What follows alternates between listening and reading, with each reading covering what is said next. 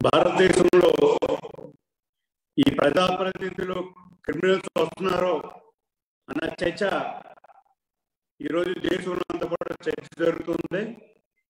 అందులో సుప్రీంకోర్టు కూడా కలెక్ట్ చేసుకుని ఈ ప్రజాప్రతినిధులు ఇందులో రాకూడదు.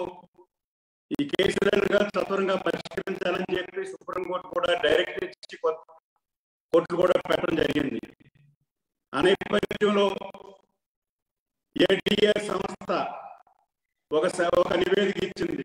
ఆ నివేదికలో ప్రకారం ఆంధ్రప్రదేశ్లో వైసీపీ భారతదేశంలో ఉన్న వైసీపీ నాయకులు ప్రజాప్రతినిధులుగా నాలుగో స్థానంలో ఉన్నారని చెప్పి తేల్చి చెప్పింది. అయితే ఈ రాష్ట్రంలో కూడా జగన్మోహన్ రెడ్డి గారు ముఖ్యమంత్రి అయిన తర్వాత మరి కక్ష సాధింపుగా పరిపాలన సాగించడం ఈ రాష్ట్రం కూడా నేర ఆంధ్రప్రదేశ్గా మారిపోయిన పరిస్థితి మనందరికీ తెలుసు. మరి దొంగ చేతికి తాళం ఇచ్చినట్లుగా నేరస్తుడి చేతికి పరిపాలించినట్లుగా తప్పు చేసేవాడికి నీతులు చెప్పినట్టుగా ఈ రాష్ట్ర పరిపాలన మనందరికీ అర్థమైంది ఉంది. మరి ఇలా రాష్ట్రంలో తీసుకుంటే ఏడిఆర్ సంస్థ రిపోర్ట్ ప్రకారం మన రాష్ట్రంలో నలుగురు ఎంపీలు పద్దెనిమిది మంది ఎమ్మెల్యేలు కేసులు ఉన్నాయని చెప్పి అందులో తెలియ తెలియ చెప్పింది. అందులో జగన్ రెడ్డి గారు జగన్మోహన్ రెడ్డి గారు కూడా ఆయన ముఖ్యమంత్రిగా పన్నెండు కేసులు ఇప్పటికే ఉన్నాయి. ఏమని ముద్దాయిగా ఉన్నారు? మరి ఆయన ఆదర్శంగా వైసీపీ నాయకులు కూడా పోటీ పడి మరి నేరాలకు పాల్పడుతూ ఈ రాష్ట్రాన్ని దోసుకు తింటున్నారని చెప్పి తెలియజేస్తాను ఎలా రాష్ట్రంలో భూకొమ్ముకోణాలు జే ట్యాక్స్ పేరుతోటి దోచుకు తినటం అలాగే ఇవాళ రాష్ట్రంలో రైతుల్ని అలాగే అమాయకుల ప్రజలను కూడా బెదిరించడం భూగజ్జాలు చేయటం ఇవాళ వైసీపీ నాయకులకి మరి ఆనవాయితీగా తయారైంది. మరి ఈ రాష్ట్రంలో మంత్రివర్గంలో కూడా నలుగురు వరకు మంత్రులకి ఈ నేర చరిత్ర ఉందని చెప్పి అందులో రికార్డుగా ఉంది మనకి. ఇలా మన రాష్ట్రంలో అవినీతి మొదటి స్థానంలో ఉంది అభివృద్ధి ఆఖరి స్థానంలోకి వెళ్ళింది. మరి జగన్మోహన్ రెడ్డి తర్వాత పూర్తిగా అభివృద్ధి కుంటుపడింది. అలాగే ప్రజల భవిష్యత్తు ప్రశ్నార్థంగా మారింది. ప్రజలందరూ అయోమయంలో పడిపోతున్నారు. మన రాష్ట్రం ఏమైపోతే అప్పుడు పాలైపోతుంది. రాష్ట్ర భవిష్యత్తు ఏంటన్నది ఇవాళ రాష్ట్రంలో అయోమయం పరిస్థితి ఏర్పడింది.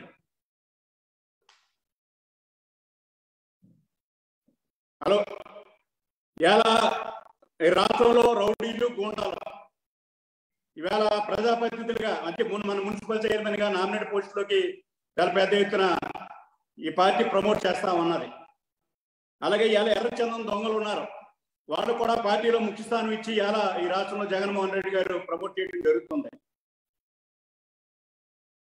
ఇలా అరాచక పాలన జరుగుతుంది కాబట్టి ఇలా మహిళలు కూడా పట్టపగల మహిళలు కూడా రోడ్డు మీద తిరగలేని పరిస్థితికి ఎలా ఈ రాష్ట్రంలో కనపడే పరిస్థితి వచ్చింది.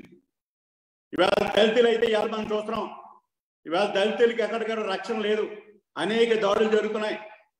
మరి ఇలా దళితులందరూ కూడా ఎంత మొరపెట్టుకున్నా ఎంత గొడవ పెట్టినా ఈ ముఖ్యమంత్రి ఎక్కడ స్పందించడం ఇవాళ ఏదో డబ్బులు ఇచ్చి మనం వీళ్ళందరినీ కూడా తగ్గించవచ్చు కే- కేసులు తగ్గించవచ్చు విధంగా ఇవాళ డబ్బులు ఇచ్చి మేనేజ్ చేసే పరిస్థితికి ఇలా ఈ రాష్ట్రంలో ఈ ముఖ్యమంత్రి గారు కనపడుతున్నారు. మరి ఇలా మహిళలు అయితే చెప్పనక్కర్లేదు.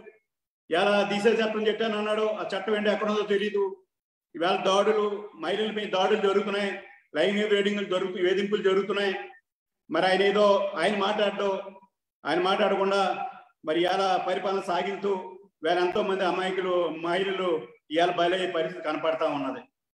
ఇవాళ బీసీలు చూసుకుంటే ఇవాళ బీసీలు కూడా అన్యాయం జరిగింది. ఏదో నేను పదవులు ఇచ్చానని చెప్తూ ఉంటాడు కానీ ఇవాళ బీసీలకి పెద్ద అన్యాయం జరిగింది. ఎందుకంటే థర్టీ ఫోర్ నుంచి ట్వంటీ ఫైవ్ పర్సెంట్కి ఇవాళ రిజర్వేషన్ పడిపోయింది. ఇవాళ ఇవాళ రెండు సౌకర్యాలు కల్పించట్లేదు ఏమీ కల్పించకుండా ఏదో పదవులు ఇచ్చానని చెప్పి ఇవాళ చెప్పుకునే పరిస్థితులు తప్పించి బీసీలకి న్యాయం జరిగే పరిస్థితి కనపడట్లేదు. ఇలా కనీసం ఐఏఎస్ ఆఫీసర్లు ఐపీఎస్ ఆఫీసర్లు తీసుకుంటే ఇలా వాళ్ళు కూడా గోల్డ్ ఎక్కే పరిస్థితి వచ్చింది. ఈ జగన్మోహన్ రెడ్డి గారికి అయినా సిగ్గులేదు ఎందుకంటే వేళ మన ప్రభుత్వంలో మన అధికారులందరూ కూడా గోల్డ్ ఎక్కుతున్నారు సమాధానం చెప్పలేకపోతున్నారు. మన సెటరేట్ చేసుకోవాలన్న ఆలోచన కూడా ఈ ముఖ్యమంత్రి గారికి రావట్లేదు కాబట్టి ఇవాళ మరి ఇవాళ మన దేశంలోనే ఇవాళ ఆవాస్ వాలే వైసీపీ ప్రభుత్వం ఆవాస్ వాలే ఇవాళ ఈ రాష్ట్రంలో కనపడతా ఉన్నది. ఆయన ఉద్దేశం ఒకటే మేము కేసులో ఉన్నాం మా ఎమ్మెల్యే కేసులో ఉన్నాం నేను కేసులో ఉన్నాను ఇవాళ తెలుగుదేశంలో నాయకులు కూడా ఇవాళ కేసులో పెట్టాలి గోలు ఎక్కించాలి జైలు వేయాలని ఆలోచన తప్పించి రెండోది ఏమీ లేదు ఇవాళ పరిపాలనలో. ఇవాళ ఈ పరిపాలన కూడా కక్ష సాధింపుగా ఎలా పరిపాలన సాగిస్తూ ముందుకెళ్తున్నాడు. మరి ఈ పరిస్థితుల్లో రాష్ట్ర ప్రజలందరూ కూడా అర్థం చేసుకోవాలి.